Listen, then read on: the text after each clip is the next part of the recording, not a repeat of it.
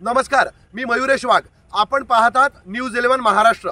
पहिला हे लोक पंधरा घ्यायचे. लॉकडाऊन नंतर ह्यांनी वीस केले. नंतर आता पुन्हा तीस केले. तुम्ही दोन घ्यायचे. तीन घ्यायला लागले तरी मान्य आहे. तुम्ही चार पण बारा आणि सीटचे तेवढेच बघतात. असं का? भाव पण एवढा नाही वाढलेला पाहिजे भाव उतरलेला आहे आता. कितीतरी भाव उतरलेला आहे. असं का? सामान्य माणूस कसं जगणार?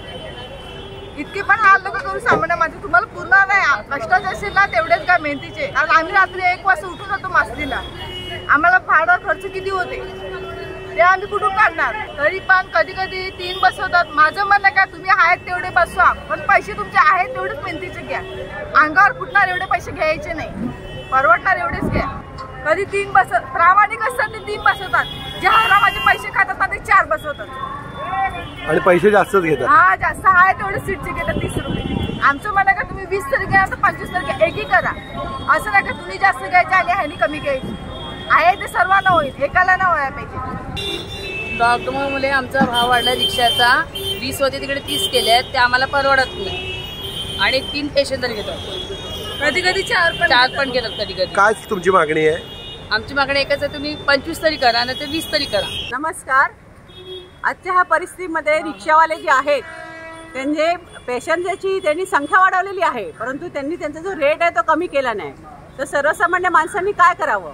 त्यांना एवढा रेट देणं काय शक्य नाही. तर त्याच्यासाठी नक्कीच की रिक्षावाल्यांवरती काहीतरी बंधनं यायला पाहिजे त्यांनी रेट जो आहे तो नॉर्मल जो आधी होता तोच ठेवायला हवा. कारण आता ते सीट त्या दोन घेत नाही अर्धे घेत नाही. जेवढ्या आहेत तेवढ्याच घेतात. तर माझं असं तुम्हाला सांगणं आहे की तुम्ही रिक्षावाल्यांच्या बद्दल काहीतरी विचार करा आणि आमच्यासारख्या सर्वसामान्य लोकांना तुम्ही विचार करा आणि त्याच्यावरती काहीतरी निर्णय घ्या. सामान्य माणसांचं कंबरदत मोडले. कारण की काम नाही धंदा नाही एक माणूस कामाला तर तोच घरात बसला तर मुलाबालांचं आणि बायका मुलांचं करायचं कसं खायचं काय हा त्यांच्यासमोर प्रश्न आहे. आणि आत्ता कुठे कामं सुरू झाली आहे तर रिक्षावाले त्याचा गैरफायदा घेत आहेत.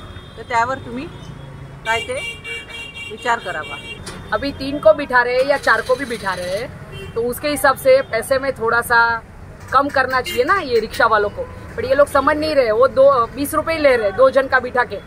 वैसे भाड़ा वही चालू है पब्लिक को ही तकलीफ़ हो रही है, बाकी किसी को तकलीफ़ नहीं हो रही है। अभी जो रिक्शा का प्रॉब्लम चल रहा था लॉकडाउन में, उसमें एक का बीस रुपए ले रहे थे। अभी दो मेंबर को बिठाओ या चार को बिठाओ, वो सब सरीख ही पैसे ले रहे हैं।